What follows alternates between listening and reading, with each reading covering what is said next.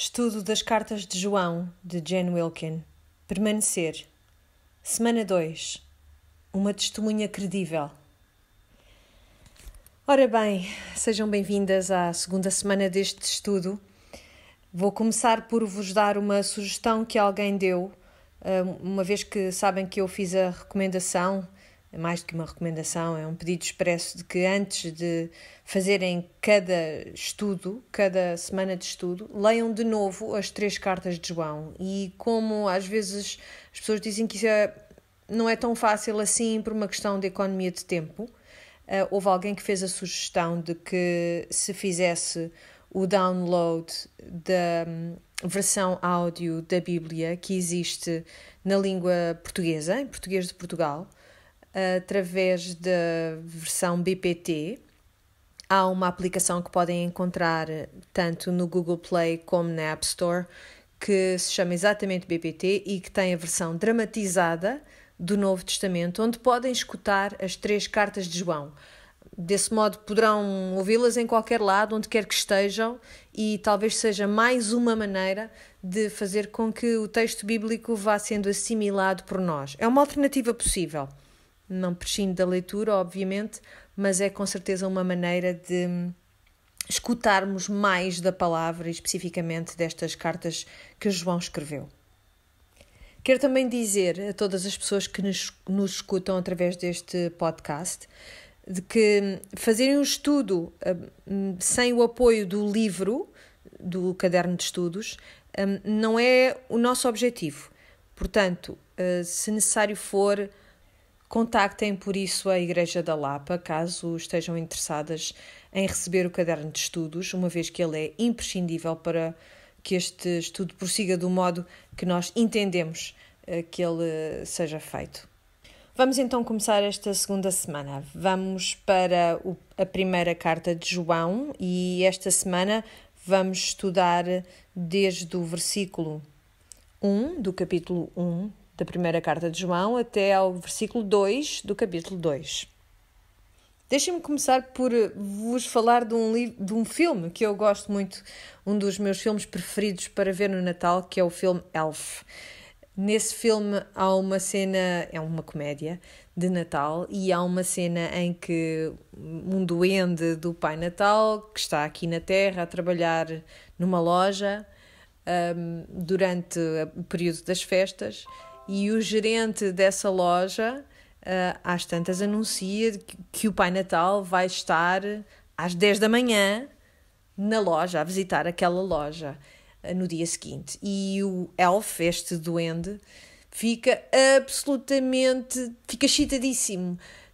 Ele diz: O Pai Natal, o Pai Natal, eu conheço, eu conheço o Pai Natal, eu conheço. Ele não consegue parar de repetir isto e começa a correr pela loja fora e toda a gente especada a olhar para ele, está a fazer uma figura de louco, de maluco. Porquê? Porquê é que ele faz isto? Eles, eles, para eles, o Pai Natal não é verdadeiro, não é? Não é real. Mas este duende conhece o Pai Natal, supostamente, sabe que ele é de verdade, que ele existe mesmo. E, e quando ele recebe esta notícia, ele fica excitadíssimo. Porquê? Porque ele sabe perfeitamente quem é o Pai Natal. Ele já o viu, ele já o ouviu, ele já lhe tocou. Este duende, que se chama Buddy, é uma testemunha ocular de que o Pai Natal é verdadeiro, é real. E essa é a mesma ideia que nós vemos na passagem que abre a primeira carta de João. Aquilo que nós ouvimos, aquilo que vimos com os nossos olhos, aquilo que nós contemplamos e tocamos com as nossas mãos. A vida deu-se a conhecer e nós vimos-la, falamos dela e vou-la anunciamos. É a vida eterna que estava com o Pai e que nos apareceu. Ficou evidente para nós, ficou óbvio para nós que esta vida eterna é real. Foi isso que nós vimos no estudo desta semana. E o que nós vimos e ouvimos vos anunciamos agora para que estejam também unidos a nós. Na verdade, a nossa comunhão é com o Pai e com o seu Filho Jesus Cristo. Escrevemos isto para que a vossa, a nossa alegria seja perfeita. Eu conheço. 60 anos depois da crucificação, quando todas as outras testemunhas oculares já não estavam vivas, João testemunha quanto à verdade daquilo que ele viu, ouviu e tocou. E no caderno de estudos desta semana vimos que algumas das coisas mais espantosas que João viu e tocou, viu, viu por exemplo, o milagre dos peixes de, daquela apanha abundante de peixes. Viu também a transfiguração no topo do Monte Horeb, em que a própria voz de Deus foi audível, dizendo: Este é o meu filho amado, escutai-o. Ele tocou no Cristo ressurrecto. Ele é uma testemunha ocular quanto ao facto histórico da pessoa e da obra de Jesus Cristo. Por isso, eu quero que pensem. Se houvesse um julgamento, alguém estivesse a ser julgado por um crime e, e estivesse a acusação a, a tentar estabelecer o, o seu caso contra esta pessoa, quando é que este caso ficava mais difícil de defender? Em que circunstâncias é que ele seria mais difícil de defender? Se se chamasse uma testemunha ocular, alguém que tivesse de facto visto a pessoa cometer este crime, certo? E o que é que acontece se eles chamassem quatro testemunhas oculares ou se chamassem 200 testemunhas oculares? Quanto mais pessoas houvesse que tivessem visto o que aconteceu, mais forte seria o caso pela acusação. Por isso, vamos falar sobre a ressurreição por um momento, porque eu acho que é algo que alguns de nós nos dias que correm, uh, estão a esquecer. Que este acontecimento do, da ressurreição é, é, é a base da, da fé cristã e é também, a sua base está também um, ehm, no facto disto ter sido uma ocorrência histórica. Há testemunhos oculares para a vida, a morte e a ressurreição do Cristo que registaram este facto, que viram isto acontecer, que tocaram neste homem depois da ressurreição, que o escutaram com os seus ouvidos, que registaram isto em pelo menos quatro evangelhos, temos quatro relatos da mesma coisa, temos João a repetir isto de novo nas suas cartas e outros que o disseram, testemunhas oculares que disseram que este homem era quem ele disse que era, ele fez aquilo que disseram que ele fez e era mais do que um homem, era o próprio Deus e era homem e foi uh, uh, ressurgiu dos mortos. Um, um cético, claro, irá hum, desvalorizar isto. Poderão dizer, por exemplo, que isto foi tudo um plano arquitetado, uma, algo que foi fabricado. Mas eu pergunto, eu acho que qualquer pessoa honesta tem que reconhecer que houve qualquer coisa de muito importante que aconteceu neste ponto da história humana. Porque o que quer que seja que tenha acontecido neste tempo em que Cristo viveu, quer tu acredites que ele era apenas um homem, um, ou que era um, um anjo, ou um Deus, houve qualquer coisa que aconteceu que gerou isto que chamamos cristianismo.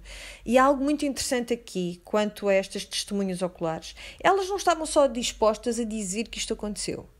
Elas estavam dispostas a morrer para justificar que isto aconteceu. Elas estavam dispostas a apostar as suas vidas nesta verdade. Esta é uma das razões pelas quais João era o único, neste ponto da história, quando esta carta foi escrita, que ainda poderia falar por si mesmo. Os outros já tinham morrido. Eles estavam dispostos a afirmar a autoridade do seu testemunho e a afirmá-lo com o custo das suas próprias vidas. O cristianismo é uma fé histórica, num registro histórico. Se olharmos para outras coisas que aconteceram na história há dois mil anos atrás, se, se houvesse quatro testemunhas oculares e quatro registros que estariam alinhados uns com os outros, o que é que nós diríamos? Que existia uma muito boa hipótese de que aquilo que foi relatado seja de facto verdade. Mas quando se trata da Bíblia, é como todos aqueles que estavam na loja quando o Buddy, o, o duende, uh, teve aquele, aquela explosão de, de excitação por causa de saber que o Pai Natal ia estar lá no dia seguinte. Não iriam acreditar, não é? E assim fazem as pessoas com a Bíblia tornaram Jesus numa figura mitológica do passado. Mas eu e tu como aqueles que têm visto o que é o trabalho transformador do Evangelho nas nossas vidas. Até hoje conseguimos estar aqui perante o mundo e dizer: Eu conheço, eu conheço. Nós não o vimos, não lhe tocamos e não escutamos esse som audível vindo de Jesus, mas espantosamente a Bíblia diz-nos que eu e tu, neste nosso conhecimento em segunda mão deste de Deus, do Deus o Filho, somos mais abençoados do que aqueles que de facto estiveram lá naquele momento histórico. São as palavras de Jesus a Tomé, quando Tomé quer tocar nas, nas feridas de Jesus no seu corpo. O, o Senhor Jesus diz: Tu crês porque viste, mas abençoados são aqueles que, que vão crer sem nunca ter visto. E sabem quem são esses que vão acreditar sem nunca terem visto? São vocês. Nós somos abençoados porque temos o Espírito Santo que testifica da verdade em nós. Isso é incrível. Por isso, João começa aqui, assim como começa no seu Evangelho, no Evangelho que escreveu, dizendo: Nós vimos-lo. Isto é algo verdadeiro que nós te estamos a dizer. Vamos olhar para o versículo 1 em que João diz: Escrevemos acerca daquele que é a palavra da vida, que já existia no princípio de tudo. E esta mais uma vez é uma referência àquilo que ele já dizia no Evangelho que escreveu. E ele, na verdade, quer que nós pensemos no princípio de todas as coisas, no primeiro capítulo de Gênesis. Portanto, ele quer que este princípio de Cristo, em que ele fala deste relato de ter visto o próprio Cristo, ter ouvido e ter-lhe tocado, seja tão significativo para nós como o relato do princípio de todas as coisas que podemos encontrar em Gênesis. Porquê? Porque é o princípio da implementação de mim e de ti como novas criaturas. Tivemos essa primeira criação, que é relatada em Gênesis, agora temos uma nova criação.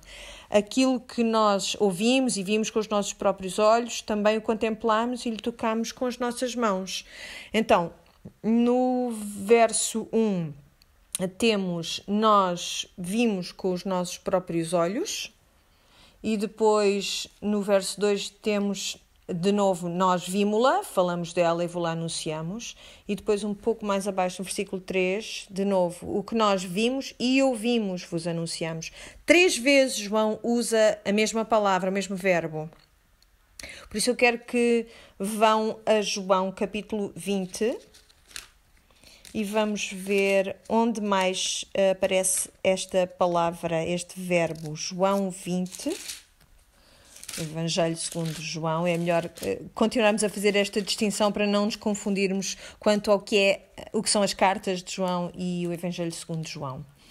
Então, Evangelho segundo João, capítulo 20, versículo 1. Esta é a imagem daquilo que acontece na manhã da ressurreição. Diz então: no primeiro dia da semana, Maria Madalena foi ao túmulo logo de manhã, fazendo ainda escuro, e viu que a pedra da entrada já tinha sido retirada. Foi a correr ter com Simão Pedro e com o outro discípulo, aquele que Jesus amava. Quem é? É João. Então temos Simão Pedro e João, ela vai ter com eles e diz-lhes: Levaram o Senhor do túmulo e não sabemos onde o puseram. Então Pedro e o outro discípulo saíram que é outro discípulo, é João, e foram ao túmulo ver o que se passava. Iam a correr juntos, mas o outro discípulo, João, correu mais do que Pedro e chegou primeiro. Inclinou-se para ver e reparou que as ligaduras continuavam ali, mas não quis entrar. O que este verbo quer dizer no original grego é, é, o, é o simples ato de ver e notar, perceber alguma coisa. Logo a seguir chegou Simão Pedro, entrou no túmulo e ficou admirado ao ver as ligaduras no chão, o mesmo verbo, e, e o pano que cobria a cabeça de Jesus dobrado a um canto e não misturado com as ligaduras. Depois entrou também o outro discípulo, que tinha chegado primeiro, que era João, viu e acreditou.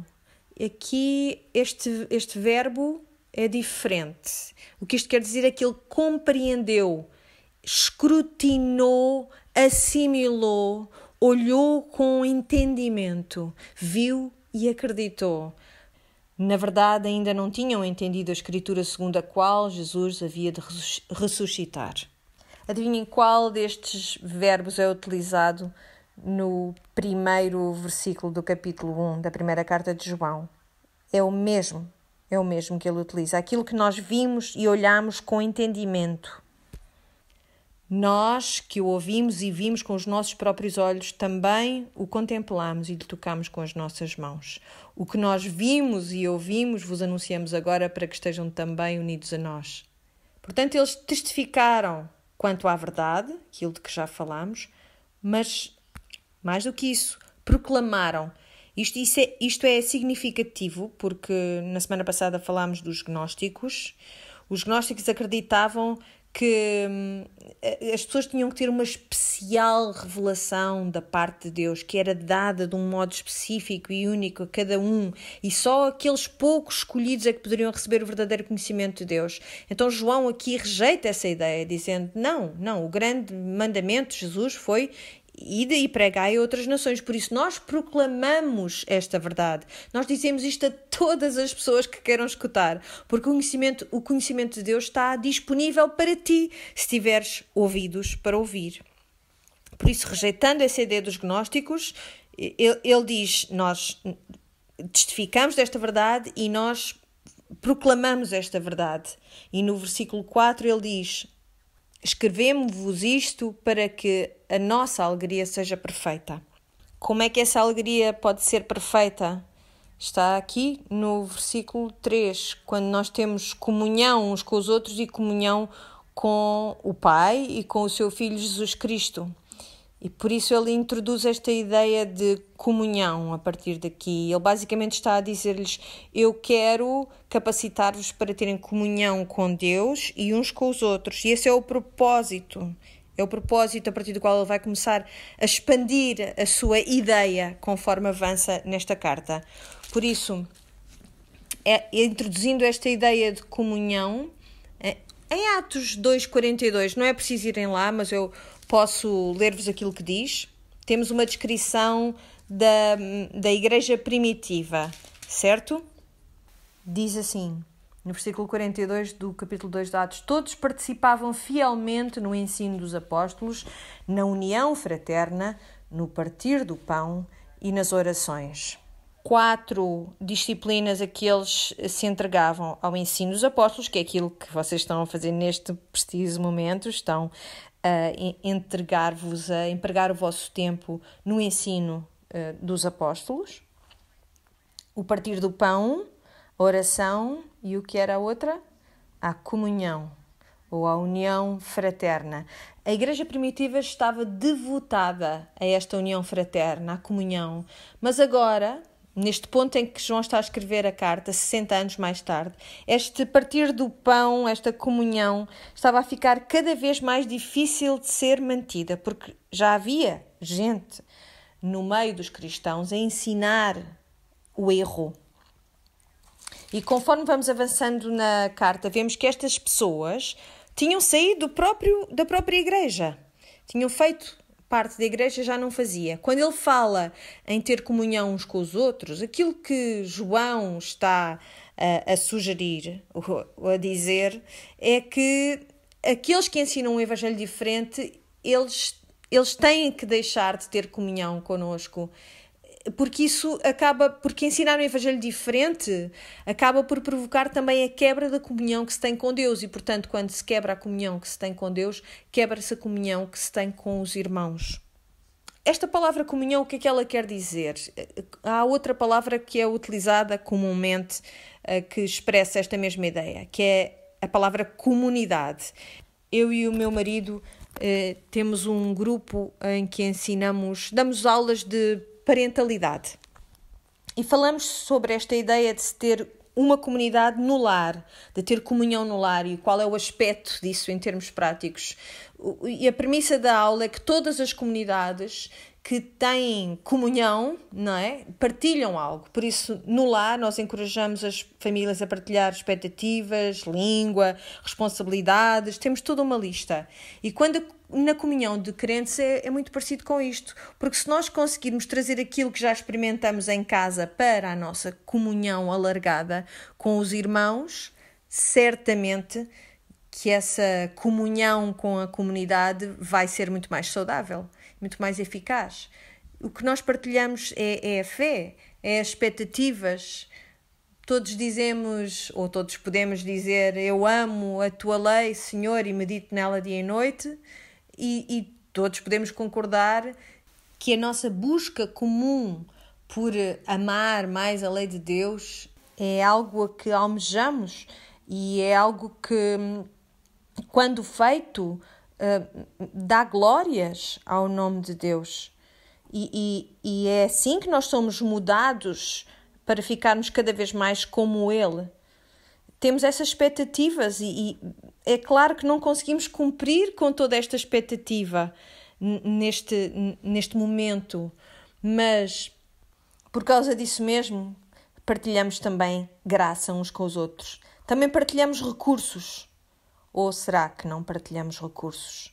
Era assim que deveria ser na nossa comunidade.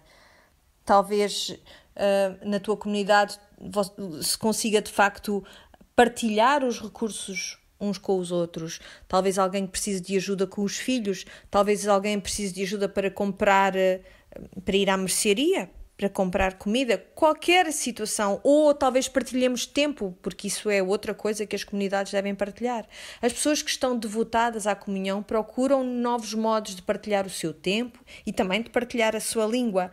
Nós temos uma língua partilhada enquanto crentes, a linguagem do perdão, a linguagem do arrependimento e da confissão, a linguagem do evangelho e nós unimos-nos à volta dessa linguagem. E isso faz com que nós sejamos uma comunidade.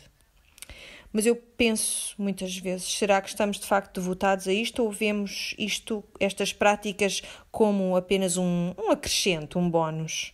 É que nas igrejas primitivas isto, isto era a, a base da sua comunidade. Eu acho que qualquer um de nós consegue identificar nessas quatro práticas uma em que seja boa, em que nós tenhamos sucesso. Mas será que somos bons nessas quatro práticas? Será que elas são todas igualmente importantes?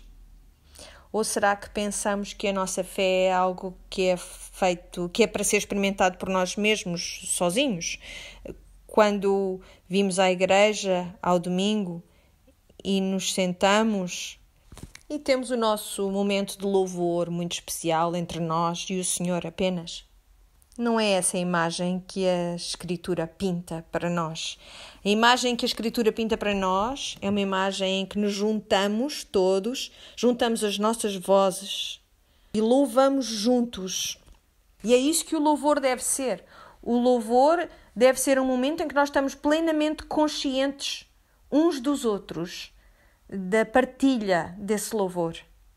Não sou só eu a levar a minha voz ao Senhor, estamos juntos a, a concordar que Deus é aquele Deus que nós estamos a louvar e essa é uma comunhão muito doce para mim. Será que nos devotamos a ela?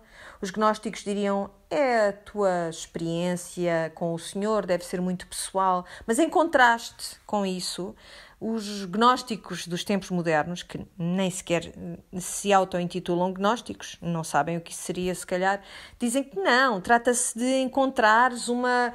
teres uma relação pessoal com Deus, entre ti e o Senhor. Eles não estão completamente errados, pois não. Até que isso se torna em algo que quase nos impede de termos verdadeira comunhão com os outros, essa nossa relação muito pessoal com Deus. Temos de ter contexto, temos de ter comunidade. Então, depois destes primeiros versículos preliminares, estes quatro primeiros versículos em que João aponta para aquele uh, cuja presença, cuja, cuja realidade histórica foi testemunhada uh, por cada uma das, das testemunhas oculares, como João é, ele vai avançar. Vai avançar para uh, nos falar de termos que são contrastantes. E estes termos contrastantes são aqui, neste versículo 5, a luz e as trevas. E o que é que isto nos lembra? O Evangelho, segundo João, não é? Em que ele fala também como as trevas não compreenderam a luz. É o mesmo padrão. No versículo 5 ele diz: Esta é a mensagem que ouvimos de Jesus Cristo e que agora vos anunciamos. Deus é luz e nele não há trevas. Se dissermos que temos comunhão com Ele e andarmos nas trevas, mentimos e não praticamos a verdade. Ao contrário, se levarmos uma vida de luz, tal como Deus que está na luz, temos comunhão uns com os outros, e o sangue de Jesus, seu Filho, purifica-nos de todo o pecado. Se dissermos que não temos pecado, enganamos-nos a nós próprios e faltamos à verdade. Mas se confessarmos os nossos pecados, Deus, que é fiel e justo, perdoará os nossos pecados e nos purificará de todo o mal. Se dissermos que não cometemos pecado, fazemos de Deus mentiroso e a sua palavra não está em nós. Há alguém que tenha memorizado algum destes versículos? Eu acho que há muitas que conhecemos de cor o versículo 9 deste primeiro capítulo. Mas, se confessarmos os nossos pecados, Deus, que é fiel e justo, perdoará os nossos pecados e nos purificará de todo o mal. Ou noutra tradução, se confessarmos os nossos pecados, Ele é fiel e justo para nos perdoar os pecados e nos purificar de toda a injustiça. Eu tive que o decorar quando era criança e, e agora vemos como isto encaixa em toda esta discussão. Então, eu começo por falar nesta ideia que Deus é luz e nele não há escuridão. E mais uma vez vemos uma rejeição desta ideia dos gnósticos em que eh, eh, Deus é apresentado como a, a luz e, e, as trevas, que é um yin e um yang, e que há uma espécie de um, um eh, equilíbrio que se estabelece entre uma parte e a outra. Mas o que é que João diz em contraste com isso? Não. Nele há luz, não há escuridão nenhuma. Aquele que disse faça-se luz está completamente imbuído na luz e não há uma um grama de escuridão neste Deus. Aquele que disse faça-se luz, que vemos no início da Escritura e vemos no final da Escritura como sendo a fonte de toda a luz. Eh, não haverá necessidade de sol, de lua ou de estrelas, porque Ele próprio será a grande luz que emana toda a luminosidade. Este Deus, neste Deus, não há trevas nenhumas. A luz e as trevas são boas metáforas para santidade e pecado, não são? Por isso, eu e tu, porque vivemos num tempo em que há luz elétrica, para nós é um bocadinho difícil compreender o que é, que é isto da escuridão total. Mas as pessoas que viveram neste tempo sabiam muito bem o que era estar na escuridão total, porque assim que o sol se punha, acabou-se. Não havia hipótese de se fazer mais nada, não havia mais trabalho, não havia mais nada que se pudesse fazer. Até o sol se levantar de novo, era por aí que se ficava. A menos que se tivesse algum dinheiro para comprar uma lamparina, e seja como for, sabemos que as lamparinas não eram assim muito eficazes, não é? Se alguma vez acamparam, é melhor não começarmos a falar sobre acampar, eh, em que temos a nossa lanternazinha, estamos no meio de ninhures e pensem em quantos lugares na Escritura é que nós vemos a escuridão vista como uma coisa negativa e a luz retratada como uma, algo positivo, um retrato da santidade de Deus. Quando as pessoas forem castigadas no fim dos tempos, vão ser atiradas para a escuridão total. E isto faz-me lembrar quando Estamos a acampar e há uma fogueira, e enquanto estivermos virados para a luz que vem da fogueira, está tudo bem, mas assim que olhamos por cima do, do ombro, a escuridão é total atrás de nós. Há bichezas esquisitas, pode haver, sabe-se lá o que nesta escuridão. Mas para nós não é comum experimentar esta escuridão total, não é algo que nos aconteça com frequência quando eu estava na faculdade, lembro-me que partilhava um quarto com outra rapariga e essa rapariga um dia tinha ido para a cama antes de mim e, e eu tive de entrar no quarto à noite para preparar algumas coisas para no dia seguinte não ter que o fazer. Então entrei no quarto estava completamente escuro, escuro como breu, e eu bati com o dedo do pé e doeu imenso. Eu estava a tentar não fazer barulho, a tentar juntar as minhas coisas e pô-las no sítio certo. E, e quando acabo de fazer aquilo que tinha de fazer, eu só conseguia sentir esta dor do meu dedo do pé, mas estava tão escuro que eu deitei-me e pronto, e acabei por adormecer. No dia seguinte, quando acordei e saí da cama, parecia um local de crime eu tinha começado a sangrar de uma tal maneira e não me tinha apercebido. Tinha espalhado aquele sangue por todo o lado, nos sítios por onde tinha andado dentro do quarto, tinha metido na cama ainda a deitar sangue. E qual era a diferença então, naquele momento? Havia luz e, portanto, eu agora conseguia ver. Uau! Havia qualquer coisa a acontecer muito mal e eu nem sequer me apercebi ontem à noite. E é isto que faz a luz. Quando a luz brilha na escuridão, ela faz duas coisas. Revela aquilo que estava escondido, certo? Por isso, revela aquelas coisas que não conseguias ver, mostra-tas, e uma vez vistas essas coisas, não é possível fazer de conta que não as vimos. Uma vez que alguém liga essa luz, uma vez que nós nos tornamos crentes e, e, e, que o Senhor envia o seu Espírito para viver em mim, essa luz acende-se. E isto é muito importante, porque nós vamos ver daqui a pouco como é que é essa coisa de se dizer que se anda na luz e na verdade não, não andamos na luz. Uma vez que esta luz esteja acesa, não conseguimos parar de ver as coisas que a luz revelou. Por isso, a luz revela aquilo que estava escondido e depois faz outra coisa, faz com que as coisas cresçam eu gosto muito de jardinagem e comecei a fazer isto quando um, vivi em Houston. E em Houston nunca faz muito frio, o sol nunca fica gelado. Uh, e não é normal quando se fala em Houston ou quando há alguma convite para visitar Houston, ninguém fala neste facto, que é a existência de baratas voadoras gigantes em Houston mas são enormes, são, têm uns 5 centímetros de comprimento, voam direitinhas a ti, atacam. Pessoalmente acho que elas me odeiam a mim especificamente, e, e mesmo que as pise elas não morrem, elas são horríveis, horríveis. São aquelas que eu imagino que vão sobreviver a um holocausto nuclear se ele algum dia acontecer. Elas entram na nossa casa e, e, e, não pedem licença. E mesmo que a casa esteja muito desarrumada, muito suja, muito feia, eles ainda assim não têm nenhum problema em entrar-nos pela casa adentro. E parece que estão à espera. Eles escondem-se no teu jardim, escondem-se nos canteiros, e naquele momento em que tu estás mais fraquinha, mais vulnerável, eles entram-te pela casa adentro e atacam. Então, gostando de jardinagem como eu gosto, uh, eu sei que quando se começa a escavar nos canteiros, a preparar os canteiros, uma das coisas que temos sempre de fazer é, é, afastar as pedras ou tirar as pedras dos canteiros. E o que é que acontece quando essas pedras estão lá nesses canteiros já há um bom tempo? Quando levantamos as pedras, é é horrível, horrível.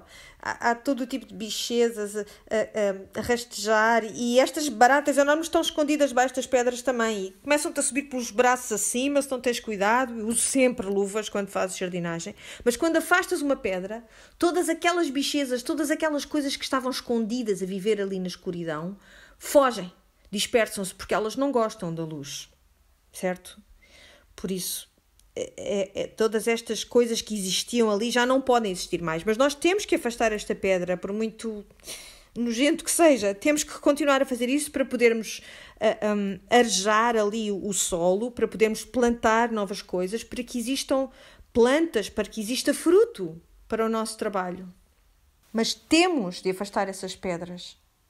Aquilo que está escondido nas trevas tem de ser afastado para que tu possas frutificar, para que haja crescimento. E é deste modo que a luz de Deus trabalha nas nossas vidas. Nós somos todos jardins rochosos e Deus, graciosamente, no seu próprio tempo, vai afastando essas rochas, essas pedras. E por baixo há muita coisa que nós não queremos ver.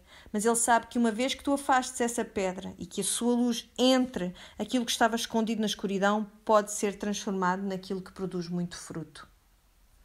Por isso, vamos olhar para o que João tem a dizer sobre a luz e a escuridão.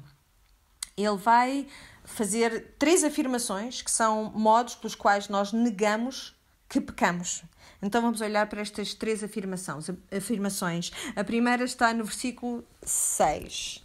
E ele diz: Se dissermos que temos comunhão com Ele e, andar, e andarmos em trevas, mentimos e não praticamos a verdade. Mas se andarmos na luz, como Ele na luz está, temos comunhão uns com os outros e o sangue de Jesus Cristo, seu Filho, nos purifica de todo o pecado.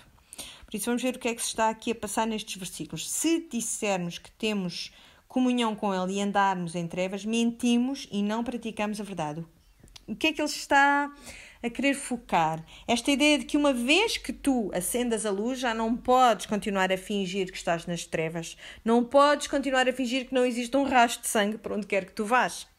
Uma vez que a luz se acende e o teu pecado esteja exposto e tu estejas verdadeiramente a caminhar em luz, já não podes desviar os teus olhos do teu pecado e nem vais querer. Por isso, uma pessoa que caminha na escuridão, por outras palavras, uma pessoa que pratica o pecado habitual que o faz como se nada estivesse a acontecer, com efeito está a dizer que ele não, não tem luz nenhuma no seu caminhar, não entende o Evangelho, a luz não foi acendida. Se esta pessoa continua a pecar e, e quer, quer continuar a pecar, então não conhece a graça, não compreende o Evangelho. Porque mesmo que tu continues a pecar depois de te tornares um crente, tu vais odiar isso. E antes de seres crente, não odiavas o teu pecado. Nem sequer o vias a maior parte das vezes. Porquê? Porque estavas na escuridão. Por isso, aqui ele diz que se nós dissermos que temos comunhão, se tivermos relação, se dissermos que temos uma relação com ele, mas continuamos em pecado habitual, revelamos que não temos comunhão nenhuma com Deus e somos mentirosos. E continua e diz: Mas se andarmos na luz, como Ele na luz está, portanto, em obediência habitual, que não quer dizer obediência perfeita, se andarmos na luz como Ele na luz está, temos comunhão não só com Deus, mas uns com os outros. E o sangue de Jesus Cristo, seu Filho, nos purifica de todo o pecado. Se ele diz que o sangue de Jesus Cristo, o Filho, nos purifica todo o pecado, nós vemos que mesmo que caminhamos na luz, não quer dizer que estejamos sem pecado, quer dizer que habitualmente tentamos praticar a obediência. E, portanto, praticamos o quê? A confissão e o arrependimento. E, portanto, há graça para nós. E depois ele continua com outra, outra negação do pecado no versículo 8. Se dissermos que não temos pecado, enganamos-nos a nós mesmos e não há verdade em nós. Aquilo que vemos aqui é uma progressão nestas três negações. A primeira negação é se eu disser que tenho uma relação com Deus, mas continuo a pecar, estou em negação. A segunda é se eu disser que não tenho pecado, estou a enganar-me a mim próprio. O que é que isto quer dizer? Se nós dissermos, por exemplo, ah, eu sou crente agora, portanto já não peco eu já consegui compreender tudo, já consigo praticar a lei, já não peco. Portanto, obrigada. Por mim, a coisa já está terminada. O, o que é que é isto? O que é que estamos a falar aqui? Estamos a falar das pessoas que nem sequer reconhecem que pecam. É o que nós chamamos de permissividade. É quando nós dizemos, ah, eu vou fazer o que eu quero porque a graça é abundante e vai haver mais graça para mim no dia seguinte. É isto que o livro, a Carta a Romanos diz o oposto disto é o quê? É legalismo. É dizer, eu vejo a, lei, compreendo a lei e, portanto, com a graça eu consigo obedecer à lei e, portanto, estou para lá do pecado. Esta foi uma introdução também uh, trazida, uma ideia trazida pelo gnosticismo, porque o que eles pretendiam é que nós conseguíamos ascender a um, uma planície mais elevada, um entendimento mais elevado das coisas de Deus e que assim transcendíamos o pecado. E João está a dizer: não, não. Ainda temos que recorrer à graça, mesmo aqueles que caminham na luz. Nunca podemos dizer que não temos pecado, não enquanto estivermos neste mundo. Por isso ele diz: se nós dissermos que não, não temos pecado, estamos a enganar-nos e a verdade não está em nós. E no versículo diz: Mas se confessarmos os nossos pecados, por outras palavras, não, não digas que, que, não, que não precisas da confissão. Há confissão para ti e se, se o praticares, Ele é fiel e é justo para nos perdoar os pecados e nos purificar de toda a injustiça. Eu quero voltar a esta ideia de fiel e de justo, mas primeiro vamos olhar para a terceira negação.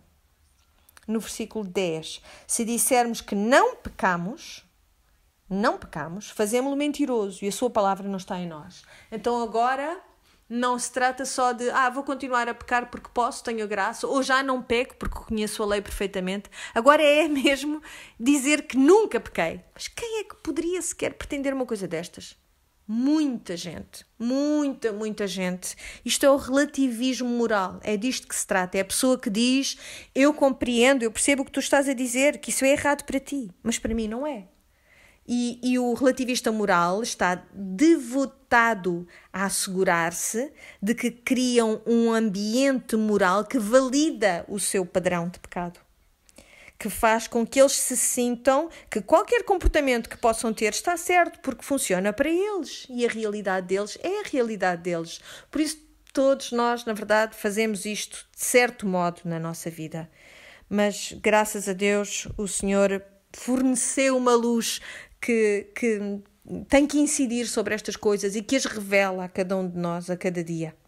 Podemos sempre dizer: Ah, mas os meus motivos eram bons, eu tinha boas intenções, eu tenho um bom coração.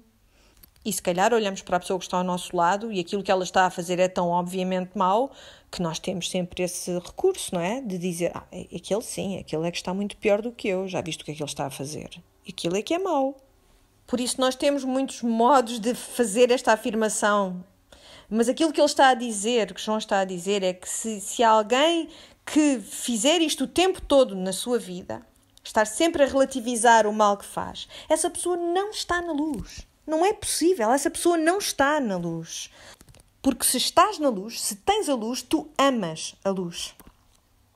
Mesmo que saibas que é um processo doloroso, mesmo que pareças que sous como Isaías, que dizia: Afasta-te de mim, Senhor, sou um homem de lábios impuros, ou que sejas como Pedro, que diz: Afasta-te de mim, Senhor, sou um pecador, ou mesmo que sous como Paulo, que diz: Eu sou o maior dos pecadores, mesmo assim tu sabes que este processo é para teu bem, vem de um Deus bom. Por isso, estas três negações do pecado é, é disto que João está a falar. A confissão não é só admitir alguma coisa, é dizer a verdade sobre o teu pecado. É ser alguém que diz a verdade, ser alguém verdadeiro, dizer é isto que eu sou, foi isto que eu fiz. Por isso, o que tu tens de fazer é dizer a verdade sobre o teu pecado e ele será fiel e justo para perdoar o teu pecado. E eu acho que se nós conseguirmos perceber porque é que Deus é fiel quando ele perdoa os nossos pecados, eu acho que vale a pena pensarmos nisto. Porquê é que é um ato de fidelidade da parte de Deus perdoar o nosso pecado quando nós o confessamos? A primeira razão óbvia é porque Ele está a ser fiel à sua palavra. Ele disse que perdoaria e, portanto, é isso que Ele faz. Não, tu não conheces ninguém que seja fiel à sua palavra como o nosso Pai do Céu é. Talvez conheças alguém que seja muito bom a cumprir com a sua palavra até certo ponto. Talvez até sejas tu essa pessoa que tenta fazer perfeitamente aquilo que diz, mas nós sabemos, como humanos que somos, que não o fazemos 100% das vezes, pois não? Mas quem é que o faz? O teu Pai do céu. Ele não pode deixar de ser fiel à sua palavra. E aquilo que ele disse foi: Eu vou perdoar se tu confessares o teu pecado. E ele e ele fala-o-á. Ele é fiel à sua palavra. Ele é fiel também a outra coisa. Ele é fiel ao Filho. Ele é fiel à obra completa de Jesus Cristo na cruz, de cada vez que Ele te perdoa. E, e de cada vez que Ele diz: Está terminado, está terminado, está terminado. Eu sou fiel a essa obra completa de Jesus. E eu adoro esta imagem da fidelidade como ela, como ela é dentro da Trindade. Mas como é que é possível que Deus, sendo justo, perdoe os meus pecados? Como é isto possível? Porque eu tenho muitos problemas, há muita coisa errada comigo. Por isso, então, se Deus é justo, como é que Ele pode perdoar essa iniquidade em mim? Como é que se pode dizer que Ele é justo para perdoar os pecados e para nos purificar de toda a injustiça?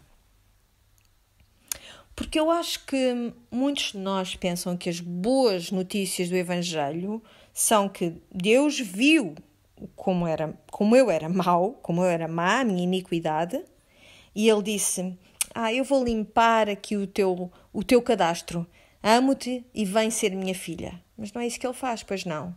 Ele vê o nosso cadastro, ele diz: Este pecado tem de ser castigado porque eu sou um Deus justo. E eu não paro de ser justo, nem por um nanosegundo. Eu sou sempre infinitamente justo e infinitamente gracioso e misericordioso. E por isso a minha justiça tem de ser cumprida, tem de ser satisfeita. E ele aí olha para o seu filho que não tem pecado e ele castiga-o a ele em vez de mim, pelo meu pecado. E por isso a justiça do filho é imputada a mim, milagre dos milagres, de tal modo que quando o pai olha para mim, ele seria injusto se não me perdoasse os meus pecados, porque por causa de Cristo. É incrível. O que nos leva a esta próxima secção em que vemos Jesus Cristo como nosso advogado, nosso defensor, porque ele é um tipo de defensor especial.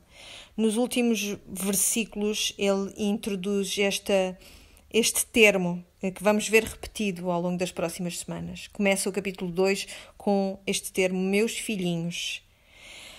Eu não sei como é convosco, mas se há alguém que está a tentar chamar a atenção para o meu pecado e dizer-me que eu preciso me confessar, eu prefiro que eles me chamem filhinha do que minha grande estúpida idiota.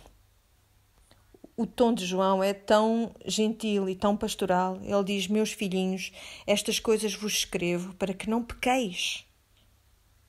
E isso faria com que a minha alegria se completasse, diz João se não pecasseis. Mas nós pecamos.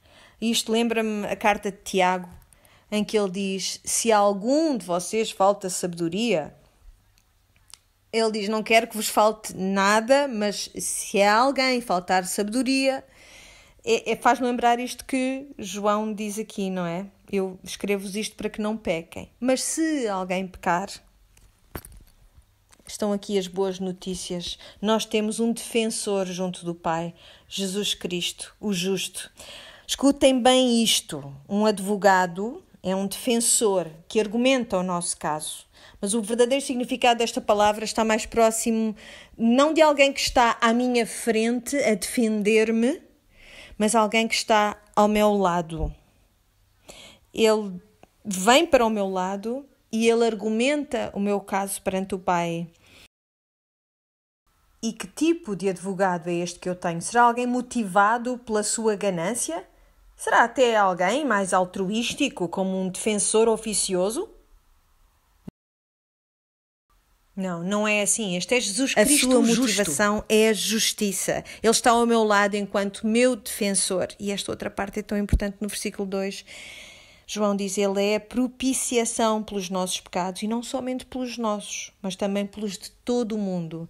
Ele é aquele que apazigua a ira de Deus, Ele é a satisfação para os nossos pecados, Ele é o sacrifício de expiação pelos nossos pecados. É o Cordeiro da Páscoa, aquele que foi morto estando inocente. E por isso eu posso estar perante Deus e não ser declarada culpada. Mas vejam bem a diferença entre um, este nosso advogado, este nosso defensor e alguém que tu possas ter num tribunal. Ele não está ao meu lado para argumentar a minha inocência perante o Pai. Ele está ao meu lado para reconhecer a minha culpa perante o Pai. E depois apresenta-se a si mesmo, no meu lugar. Ele é o meu sacrifício de substituição. É o meu vigário. E de cada vez que o meu pecado leva a melhor, ele de novo se coloca ao meu lado e diz: no passado, no presente e no futuro, eu advogo a favor dela. Eu, Jesus Cristo, o justo, eu declaro que ela tem a minha justiça e nós vamos ver esta ideia desenvolvida mais à frente, mas eu gosto muito de como ele introduz aqui. Por isso eu tenho três perguntas para vos fazer conforme chegamos ao final do estudo desta segunda semana. Três coisas nas quais eu quero que pensem ao longo desta semana. A primeira é esta: vimos como João foi testemunha de Cristo. E eu quero perguntar como é que tu podes ser testemunha da verdade, das boas notícias da morte e da ressurreição de Jesus? Há alguma área na qual o Senhor tenha transformado tal modo o teu coração e para a qual tu possas apontar e dizer aquilo que estava perdido agora foi encontrado? Por isso, quando temos alguém na nossa vida que diz: Ah, eu, eu lembro-me que tu antes tinhas um mau feitio, o que é que te aconteceu? o que é que tu dizes? Eu conheço. Podes ser testemunha daquilo que aconteceu, daquilo que te aconteceu. Consegues celebrar esse facto, consegues testemunhar esse facto. A segunda coisa que eu quero que tu penses esta semana é como é que eu posso ser uma fonte secundária de luz. No Sermão do Monte, Jesus disse: Nós, vós sois a luz do mundo. Eh, por outras palavras, vocês são a fonte secundária da luz de Deus, o que quer dizer que a nossa própria presença na sociedade, a nossa própria presença onde quer que estejamos na nossa vida, deve ser de tal modo impressionante que nós promovamos a justiça e revelemos a verdade. Tens sido assim? Tu vais ser muito mais eficaz nesta tua tarefa se tu permitires que o Senhor ilumine a sua luz em áreas da tua vida que têm estado nas trevas, aquelas coisas que queres esconder ainda dele.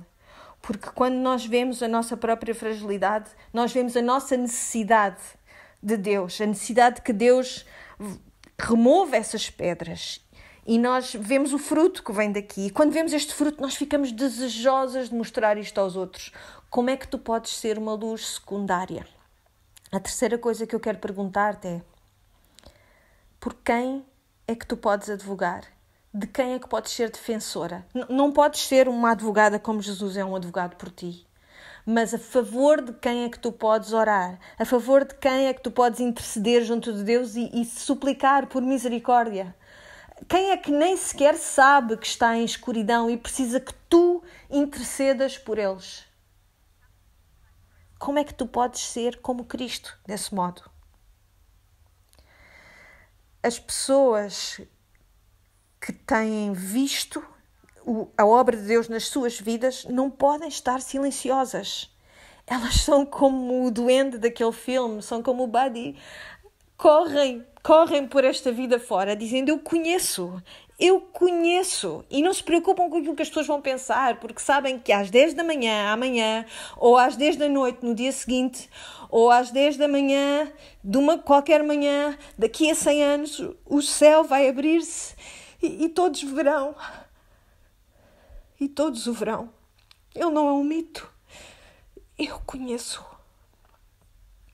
caminha esta semana como aqueles que testemunham da verdade. Vamos orar. Pai do céu, nós agradecemos-te pelo testemunho do teu filho que é trazido pelo apóstolo João. Nós pedimos-te, Senhor, que ele permaneça no nosso coração nesta semana. Pedimos, Senhor, para que não possamos assumir este, esta atitude de pecado que nos faz assemelhar tanto àqueles que encaram a tua graça com leviandade. Senhor, não vamos negar a tua verdade e a tua luz, a tua luz que vai brilhar nesses lugares que temos escondido. Senhor, levanta as pedras nos nossos jardins e traz frutificação à nossa vida, para que o mundo veja o testemunho do poder transformador do teu filho Jesus. Pedimos-te isto no nome de Jesus. Amém.